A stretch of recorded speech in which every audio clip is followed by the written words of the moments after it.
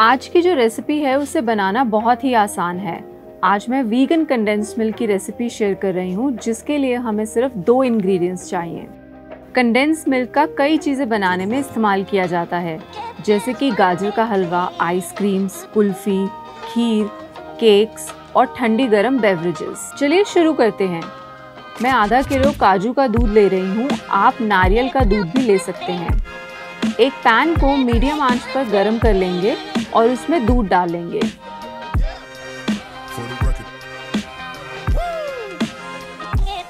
अब इसमें आधा कप चीनी डालकर तीन से चार मिनट तक के लिए मीडियम आँच पर हिलाते रहेंगे।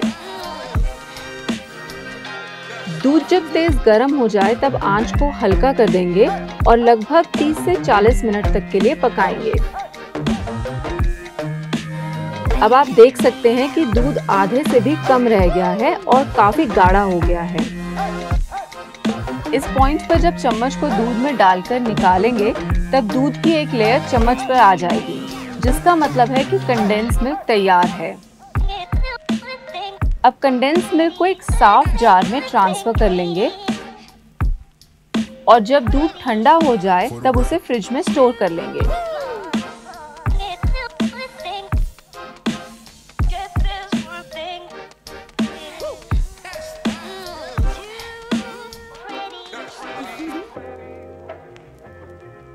फ्रिज में स्टोर किया हुआ कंडेंस मिल्क और भी गाढ़ा हो जाएगा।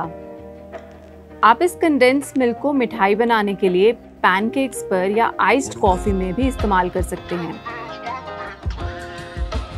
अगर आपको ये रेसिपी पसंद आई हो तो लाइक करिए और अपने दोस्तों के साथ शेयर करिए और ऐसी कई स्वादिष्ट रेसिपीज़ के लिए इस चैनल को सब्सक्राइब कीजिए।